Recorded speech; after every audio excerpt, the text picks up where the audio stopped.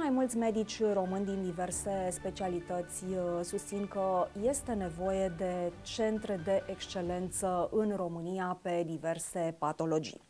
Ștefăniță Dima, medic primar radiologie și imagistică medicală la Spitalul Elias din uh, capital, a realizat numeroase premiere medicale în România și are o experiență vastă în lucrul cu echipe multidisciplinare.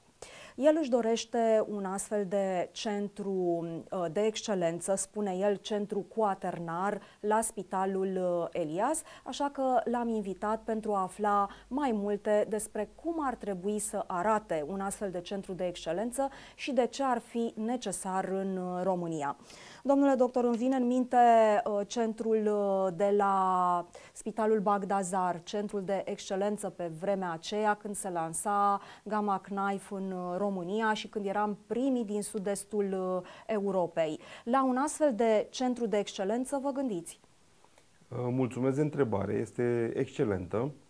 Um, sunt mândru de faptul că am participat la primele proceduri Uh, în centru din Bagdasar, de care spuneți dumneavoastră, era un centru absolut excepțional. Era un centru făcut de olandezi, un centru cu uh, o viziune și o deschidere uh, europeană 100%, uh, un centru unde s-au făcut lucruri absolut excepționale.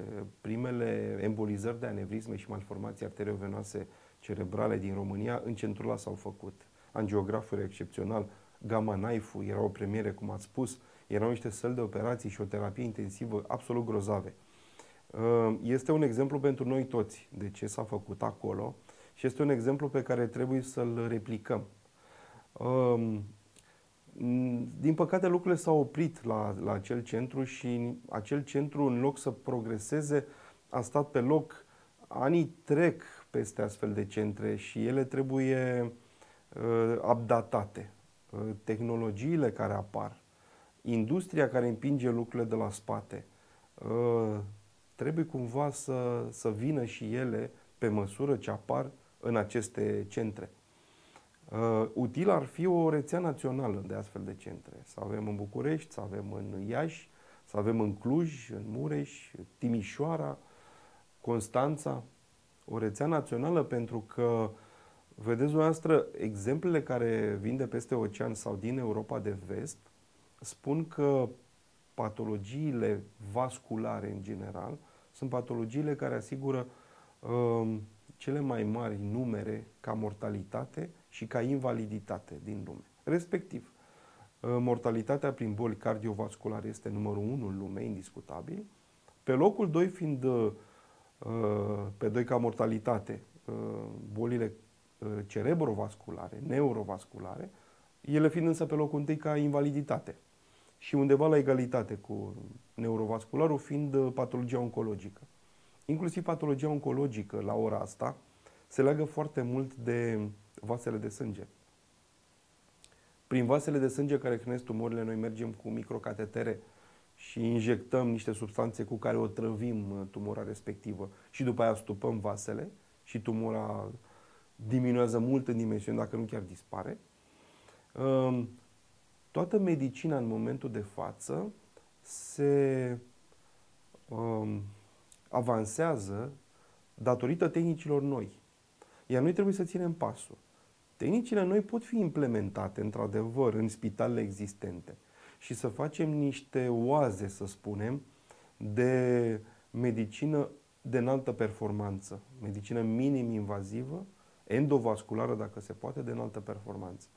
Dar studiile, iar studiile, ne arată că studiile din Statele Unite și din Franța, făcute aproape concomitent, că astfel de centre de excelență, cu echipe pluridisciplinare, în care să avem săli hibride, în care să avem aparatură imagistică de înaltă performanță și ulterior pentru, pentru tratament, uh, aduc niște rezultate mai bune decât în uh, spitalele altfel foarte bine pregătite și cu personal de mare, de mare calitate, aduc rezultate mai bune pentru că oamenii se specializează pe o nișă.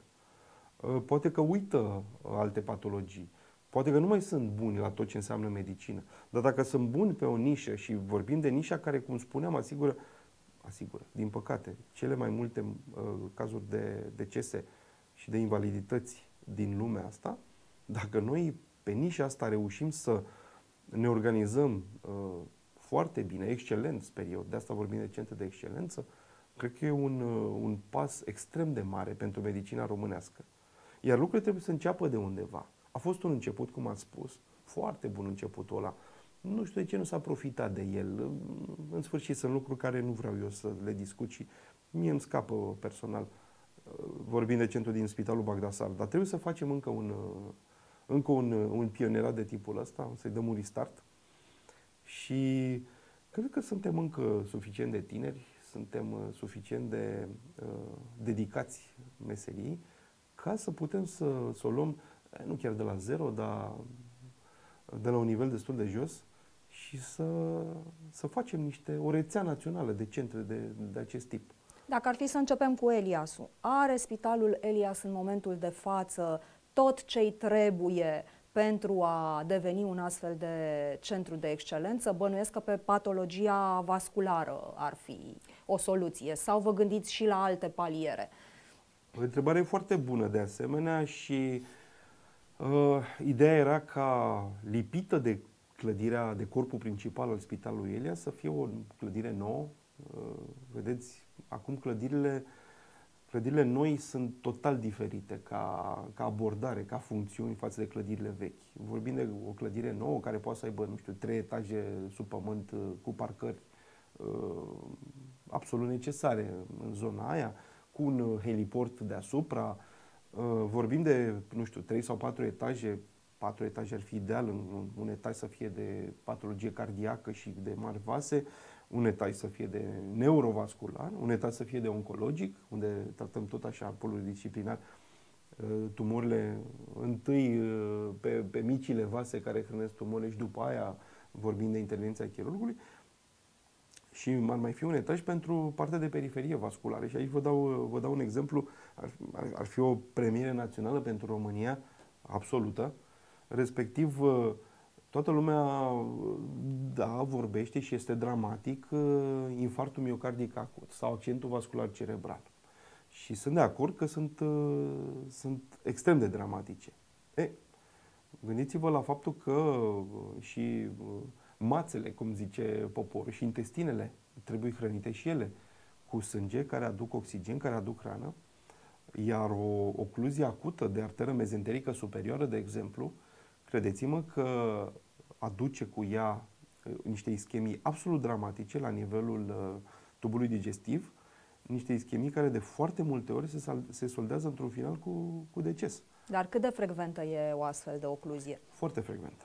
E foarte frecventă pentru că uh, și uh, fac o paranteză aici. Uh, de ce patologia asta vasculară este din ce în ce mai frecventă și de ce ea se ocupă la ora asta de, de decese, de invalidități, pentru că a crescut foarte mult durata de viață.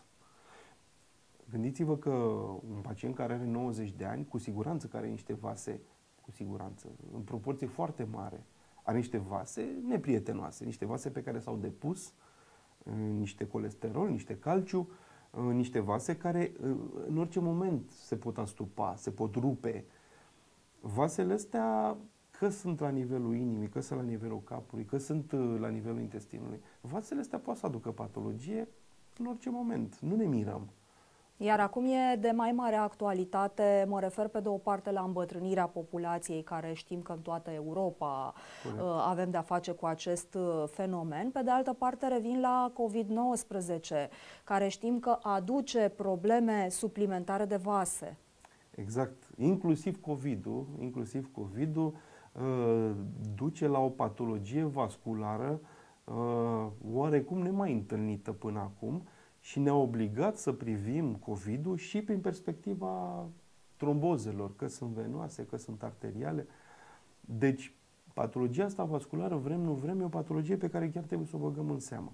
Și atunci vă așteptați la un val și mai mare de cazuri din această patologie, pe de o parte, și pe de altă parte, având în vedere că Spitalul Elias e un spital de urgență. Un astfel de spital de urgență se pretează să aibă un astfel de centru? Absolut, absolut. Iar cum spuneam, ă, dacă reușim în curtea spitalului să plantăm un astfel de centru, să-l lipim, să-l legăm printr-o pasarelă cu spitalul uh, și cazurile să le tratăm în acut, în, uh, în acest centru de excelență.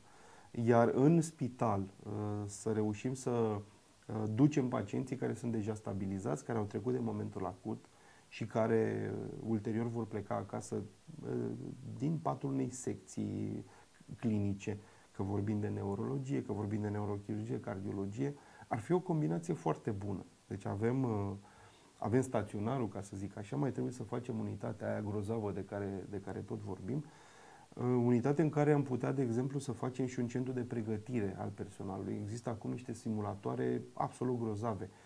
Uh, simulatoare sunt aproape ca jocurile video, extrem de fidele, Uh, pe care studenții, rezidenții se pot pregăti.